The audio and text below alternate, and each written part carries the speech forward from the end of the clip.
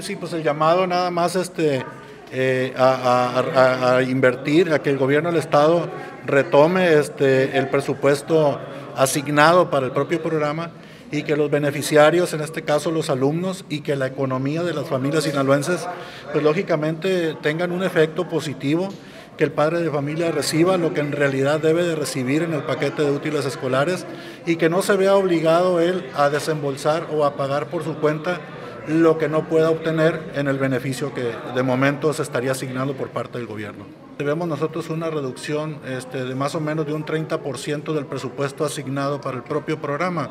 Entonces, ese 30% que disminuye el presupuesto para este ciclo escolar, lógicamente este, causa cierta situación este, económica adversa para las familias sinaloenses y el excedente del producto que se requiera en las aulas, de acuerdo a los educadores educadoras que tengan cada quien en su nivel, este, será lógicamente cubierto o pagado por el padre de familia, ¿no? Esa diferencia. Entonces lo que se está empujando ahorita es que para el presupuesto se ejerza